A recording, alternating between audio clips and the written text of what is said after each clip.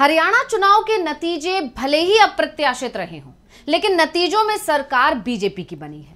चुनाव नतीजों पर कांग्रेस तो सवाल पहले से ही उठा रही है, लेकिन सवाल अब बीजेपी के अंदर भी उठ रहे हैं। और यह सवाल है कि सीएम कौन? पहले माना जा रहा था कि नायब सिंह सैनी हरियाणा के नए सीएम होंगे। नायब सिंह सैनी 12 अक्टूबर को शपथ लेने वाले हैं। इस बात की चर्चाएँ भी शुरू हो गई थी। पंचकुला के परेड ग्राउंड में शपथ के लिए तैयारियाँ भी शुरू हो चुकी थी। भीड़ जुटाने के लिए सरकारी बसें तक मंगा ली गई थी, लेकिन अचानक से खबर आई कि ये शपथ ग्रहण कार्यक्रम अभी टल गया है। अब शपथ ग्रहण 15 अक्टूबर तक कभी भी हो सकता है। तो आखिर क्यों तारीख तय होने के बाद कार्यक्रम टाला गया? और क्या बीजेपी के अंदर बगावत छिड़ गई है? क्या आप सीएम पद को लेकर जो है हलचल मची हुई है या फिर कहानी कुछ और है? सीएम पद के अलावा क्या डिप्टी सीएम की दावेदारी पर भी पेच फंस रहा है? या फिर यहाँ पर मंत्रिमंडल को लेकर पेच फंसा हुआ है? यानी कहा जा सकता है कि बीजेपी के अंदर उथल पुथल की स्थिति है और इसी को लेकर हम अपनी स्पेशल रिपोर्ट में करेंगे बात। नमस्कार, मैं हूँ अंशिता।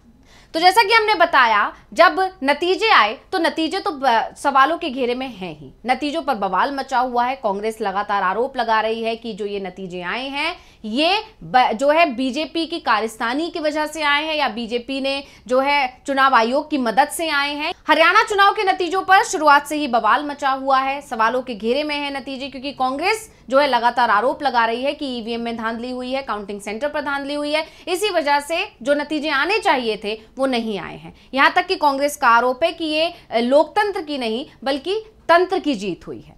यानी बीजेपी पहले ही सवालों में घिरी हुई है। बीजेपी के अंदर भी बवाल है, बीजेपी के बाहर भी बवाल है और जो है जनता भी परेशान है, वहीं कांग्रेस तो सवाल उठा ही रही है लगातार। अब इन तमाम चीज़ों के बीच में अब सीएम फेस को लेकर भी अंदर बीजेपी के बगावत छिड़ती हुई नज़र आ रही है। और ये बगावत इतनी छिड़ गई है कि तारीख तय होने के बाद बदली जा रही है। अब दावा किया जा रहा है कि पहले 12 अक्टूबर को शपथ ग्रहण होना था, सब कुछ तैयारियाँ हो चुकी थी। परिवहन के लिए जो है लेटर भी लिखा जा चुका था, लेकिन आखिरी समय में बदल दिया गया और अब कहा जा रहा है कि शायद ये जो तारीख है शपथ ग्रहण है, वो 15 अक्टूबर तक कभी भी हो सकता है। मतलब अभी भी तारीख फाइनल नहीं है और ये अपने आप में बड़ी बात है कि आखिर ऐसा क्यों हो रहा है? कहाँ पर पेच फंस रहा है? तो यह भी कहा जा सकता है कि बीजेपी भले ही हरियाणा में जीत गई है, बीजेपी ऊपर खाने पे खुश नज़र आ रही है, लेकिन अंदर खाने उसमें इस जीत ने बवाल मचा दिया है। खलबली पैदा कर दी है और अब बीजेपी जो पहले बगावत से जूझ रही थी,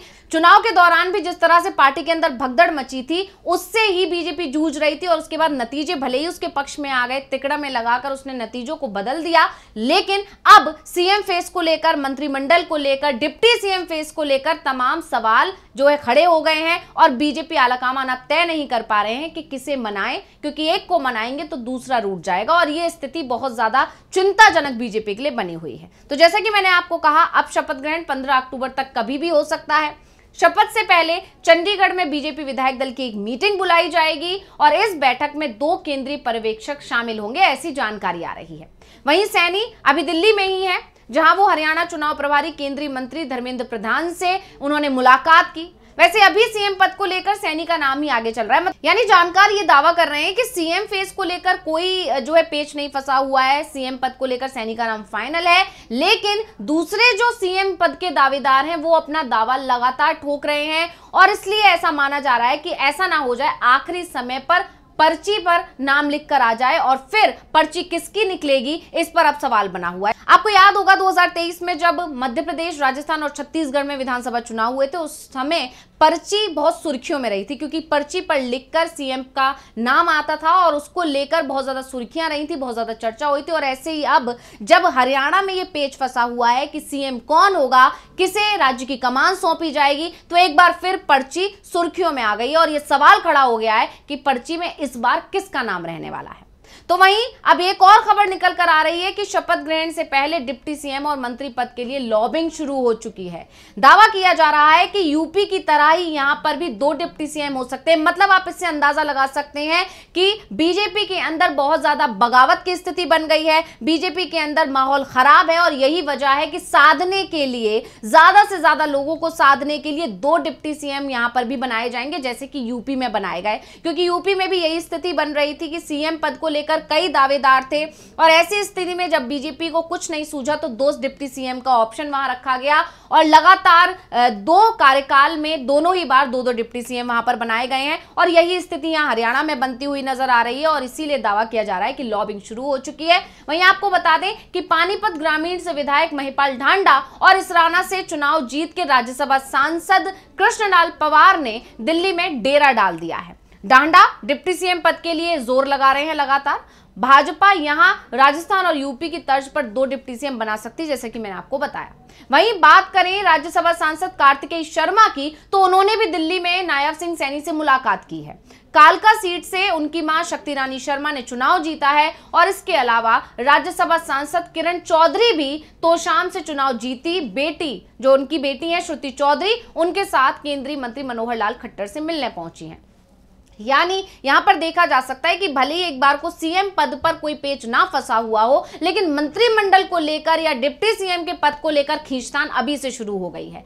सीएम पद को लेकर एक बार को माना जा रहा है कि शायद आला कमान की पसंद पर मोहर लग जाएगी, और आला कमान की जो पसंद है वो नायब सिंह सैनी है, क्योंकि उन्हीं के नेतृत्व में चुनाव लड़ा गया। हालाँकि सीएम कौन होगा, इसका ऐलान बीजेपी की तरफ़ से पहले नहीं किया गया था। बीजेपी हमेशा से कभी भी ऐसा नहीं करती है। लेकिन क्योंकि नेतृत्व नायब सिंह सैनी का था, इसलिए कहीं ना कहीं मानकर चला जा रहा है कि हो सकता है कि उनके नाम पर ही मोहर लग जाए। लेकिन बीजेपी की अभी तक की रणनीति को देखकर इसे मानना बहुत गलत होगा, क्योंकि हो सकता है आखिरी समय पर कुछ भी बदलाव बीजेपी आलाकमान की तरफ़ से हो सकते हैं। लेकिन ये सारा जो मामला है, वो सुर्खियों में इसलिए आ गया, सवाल इसलिए उठ रहे हैं, क्योंकि कुछ ही दिन के अंदर लगातार दो लेटर लिखे गए। एक लेटर पहला लेटर जो लिखा गया, वो शपथ ग्रहण समारोह के लिए बसें उपलब्ध कराने के बारे में लिखा गया था। ये लेटर अब तेज़ी से सोशल मीडिया पर वायरल हो रहा है। इस लेटर को आप देख सकते हैं। इसमें बाकायदा तारीख मेंशन है। 12 अक्टूबर की तारीख पर शपथ ग्रहण होगा और इसके लिए बसों की व्यवस्था कराए जाने के लिए लेटर लिखा गया था। और इसके कुछ ही समय बाद एक दूसरा लेटर फिर से जारी किया जाता है, जिसमें यह लिखा गया है कि शपथ समारोह की डेट अभी पक्की नहीं है और इसकी वजह से ये दोनों ही लेटर लगातार सोशल मीडिया पर तेज़ी से वायरल हो रहे हैं और इन्हीं लेटर्स की वजह से ये सवाल उठ रहे हैं कि आखिर क्या दिक्कत है। क्यों पहले नाम फाइनल हो गया डेट फाइनल हो गई और उसके बाद अब डेट को टाल दिया गया है? ये सवाल खड़े कर रहे हैं और इसी वजह से कयास लगने लगे अटकलें लग रही हैं कि बीजेपी में कुछ भी ठीक नहीं है।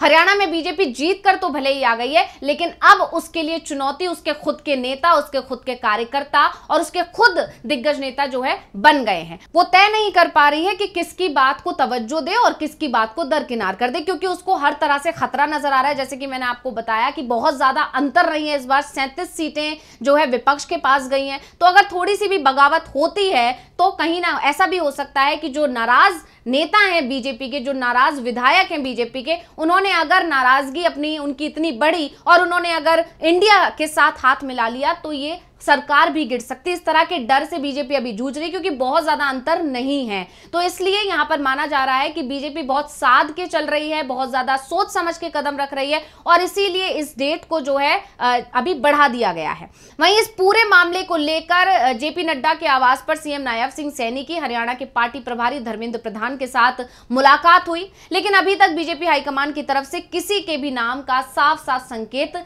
नहीं दिया गया है। यानी ये देखकर तो कहा जा सकता है कि हरियाणा में डिप्टी सीएम या फिर मंत्रिमंडल को लेकर पेच फंसा हुआ है, लेकिन वहीं जो दूसरे दिग्गज नेता हैं, जो सीएम पद को लेकर दावेदारी कर रहे हैं, उसको देखकर यह कहा जा रहा है कि कहीं ना कहीं सीएम को लेकर भी पेच फंसा हुआ है। बीजेपी आलाकमान के सामने एक बहुत बड़ा सवाल खड़ा हो गया है कि किसको सीएम बनाया जाए, क्योंकि इधर जैसे ही चुनाव के नतीजे आए, भाजपा को बहुमत भी मिल गया और उसके तुरंत बाद गुरुग्राम से जो भाजपा सांसद हैं और केंद्रीय राज्य मंत्री राव इंद्रजीत सिंह का एक बड़ा बयान आ गया। उन्होंने पहले तो बिना नाम लिए, जो है, मनोहर लाल खट्टर पर निशाना साध दिया और उसके बाद उन्होंने ये भी कह दिया कि क्योंकि अहिरवाल से सबसे ज़्यादा सीट्स बीजेपी ने जीती हैं, बीजेपी हरियाणा में सरकार सिर्फ़ अहिरवाल की वजह से ही बना पाई है तो जो सीएम होना चाहिए, वो भी इधर से ही होना चाहिए। यानी उन्होंने बिना कुछ का ये संकेत दे दिए कि वो सीएम बनना चाहते हैं। इसके अलावा अनिल विज शुरुआत से ही दावेदारी पेश कर रहे थे अपने सीएम पद को लेकर और इसके अलावा मनोहर लाल खट्टर तो इस रेस में है ही। यानी सीएम पद पर भी पेश फंसा हुआ है और अब जो खबरें आ रही हैं, वो ये कि डिप्टी सीएम पर भी पेच फंसा हुआ है। यानी हरियाणा में बीजेपी जीत तो गई है, लेकिन उसके लिए मुश्किलों का अंबार जो है खड़ा हो गया है, मुश्किलें और चुनौतियाँ उसके आगे बढ़ती जा रही हैं और इसीलिए कहा जा रहा है कि बीजेपी आलाकमान तय नहीं कर पा रहा है कि वो जो जीत हुई है, उसकी खुशी मनाए या फिर जो उसके सामने इतनी सारी परेशानियाँ खड़ी हो गई हैं, जो चुनौतियाँ उसके सामने खड़ी हो गई हैं, उन्हें निपटाए। तो इस रिपोर्ट को लेकर आपका क्या कहना है? हमें कमेंट करके अपनी राय ज़रूर दीजिएगा। इसी के साथ मुझे दीजिए इजाज़त। देखते रहिए डीवी लाइव। नमस्कार।